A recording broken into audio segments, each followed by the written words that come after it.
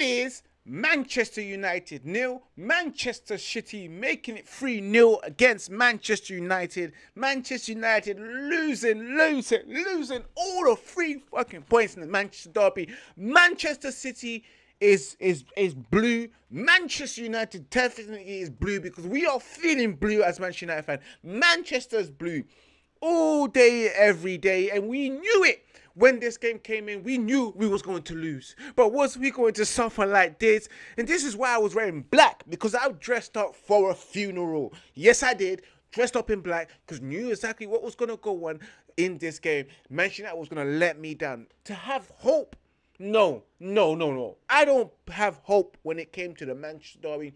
I knew exactly what it was, man. I knew exactly what it was. I knew the lane that we was going to be in. And we was going to be in that losing lane. Manchester United performance today let us all down. We knew they was gonna play shit, but did we know they was gonna play this shit? Whew. The goals that we conceded, bloody hell, man. Erik Ten Hag, yes, people are saying Erik Ten Hag out. Yes, a lot of these players are shit. Bruno Fernandes, not good enough. Marcus Rashford, not good enough. All these players that you put your hopes on, not good enough. A lot of these players can't do anything. Scott McTominay, when it comes to the scruff in these kind of games, he's not good enough, you know. Mason Mount, shit as ever, bruv. This transfer was just waste of money. back couldn't do anything. McTominay and Evans, you got Dalot, you got Lindelof. All these players are shit. Absolute shit. Doo doo, pants, bag of dog shit. And today, in terms of performance wise, these players let us down. They even let their manager down. They cannot keep the ball for anything. You look at the possession 62% the whole entire game for Man City, 38%, you know, 21 shot from Man City, seven shots from Manchester United, three on target, 10 for Man City. We was absolute doo doo. Dog shit.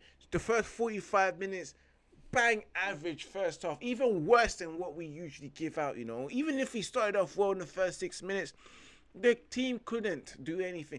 Dominated as expected from Manchester City, as as as always. Manchester United was always going to dominate possession. We knew that, but it's about what we do outside of that possession. And guess what we did?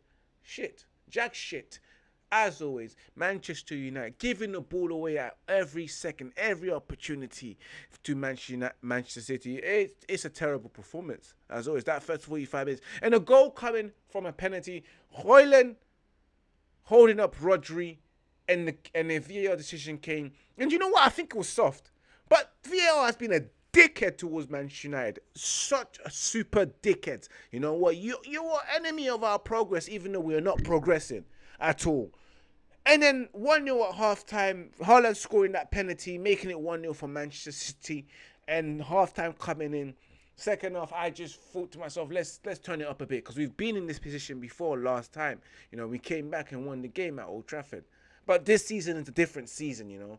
You know, and last season isn't this season as well. So Manchester United going to that second half conceding a goal again. Haaland, you know what? Big up Onana for saving and saving. But Haaland, Bernardo Silva ate us up. He ate us up, bruv. He done a lot towards us. He damaged us. That looping cross from Bernardo Silva to find Haaland who jumped heavens and earth up and above, a mile away, like he was Buzz Lightyear. Yes, like he was Buzz Lightyear. Headed that ball in in the back of the net.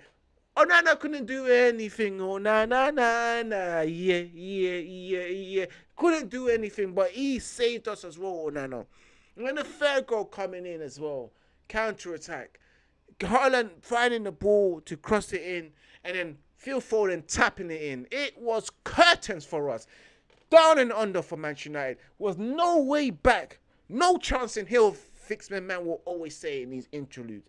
Oh my god, my heart is hurting. I'm I I'm done. This weekend pure, pure bullshit. You know, we may have won the Champions League midweek, but this means nothing. That means nothing. No, you look at Manchester United's campaign so far. It is piss past poor, man.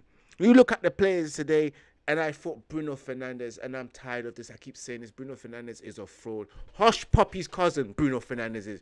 You are Hush Puppy's cousin. You are a scammer. You are a Yahoo Yahoo boy. You know, you sing narrow money. Am I a Yahoo boy? You know, you be deets in this G- um, goals and assists, bruv. Because on the pitch, my eyes, I don't see it, bruv. But on the score sheets, it says you got X X amount of goals and X amount of assists. But you, if when you watch this guy, he's a fraudster, Yahoo boy.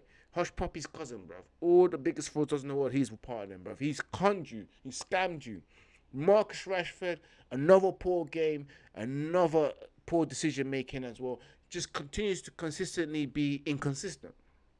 Højlund, 20 year old, he's not going to score a Premier League game for a very long time. You know what? He's as much as good as he is. He's is a shining light, but it's not. Like the decision to bring him in and and just make sure he's the main striker was a bad mistake because we could have should we should have brought two strikers in.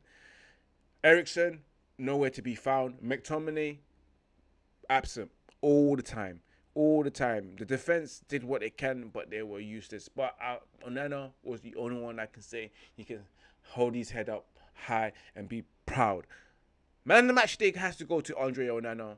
He was the only shining light. Donkey of the match. I'm gonna have to give it to Rashford and Bruno again. They they they they they're shit. They they hold us back. They're, they're our best players and they always hold us back. They ain't gonna do nothing. But anyway, guys, this has been your match reaction from your boy Ivorian Spice. Let me know in the comments of your thoughts on today's game. Who was your man of the match? Who was your donkey of the match as well? What did you think of today's score as well? Are you Erik Ten Hag out? You know, are you owners out? Let me know, guys. And remember, we are back live 8 p.m. UK time today for the catch up volume 116, the, the, the full reaction Manchester United versus Manchester City. We'll see you at 8 p.m. Oh, I'm, my head is hurting. But anyway, guys, remember to keep it united and remember to keep it red united. Your boy is out. Peace.